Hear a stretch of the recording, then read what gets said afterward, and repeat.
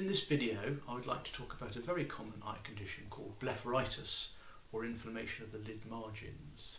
It causes grittiness and soreness of the eye and in severe cases the lid margins themselves can look red. There are two types of blepharitis. Uh, the most common form is where you have dandruff of the lashes, where you get crusts forming on the base of the lashes and they can irritate the surface of the eye and cause discomfort. There is another condition called meibomianitis, which is also associated with inflammation of the lid margins. Immediately behind the lash base are openings of glands called meibomian glands, which produce a form of oily tear. Now this oil is a very important component of the tear film because the tear film is mainly water but the oil floats on the surface of the water and stops it from evaporating and therefore traps it on the surface of the eye and keeps the tears where they should be. So if you have problems with the oily component of the tear film, the water evaporates and the eye can become uncomfortable. And this is another reason why inflammation of the lid margin can contribute to dryness of the eyes. So with meibomianitis, the oily secretions produced by the meibomian glands are a little on the thick side and can block the pores to not allow the secretions to continue to be produced and that in itself can cause inflammation and can also predispose to the formation of uh, a particular inflammatory lump called a chalazion or meibomian cyst. The treatment of blepharitis is lid hygiene. You need to bathe the lids in order to get rid of the crusts that are forming on the lash base and get rid of these thick oily secretions that are blocking the pores and not allowing the tear film to be as good as it should be. So lid hygiene is very important and the mainstay of treatment.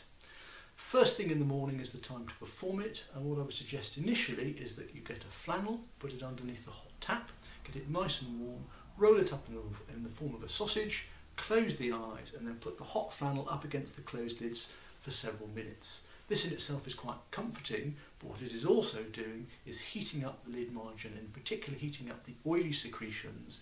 And if you heat up oil, you thin it, and that facilitates subsequently removing it. Having warmed the lid margins with the hot flannel, you then need to bathe the lid margins to get rid of the crusts and the oily secretions. Uh, and there are a variety of ways of doing this. You can get boiled, cooled water to which you add a few drops of baby shampoo, which is weak shampoo you can use in and around the eye, and get a cotton ball or a cotton bud, dip it in the cooled water, and gently but firmly bathe from the nose towards the ear to get rid of the crusts.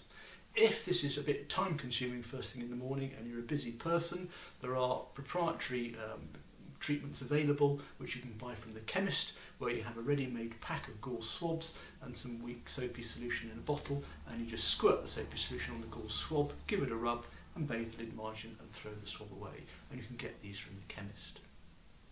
Don't forget however if you're having to bathe the lids in the morning it is also often worthwhile putting in artificial tears as the two as we've mentioned already tend to go side by side and you can put the artificial teardrops in as frequently as possible, but the mainstay of treatment remains lid hygiene in the morning. Unfortunately with blepharitis it's very rare that it's completely cured with this treatment. It's primarily to get on top of the symptoms and keep things at bay and often if you stop performing the lid hygiene the symptoms come back.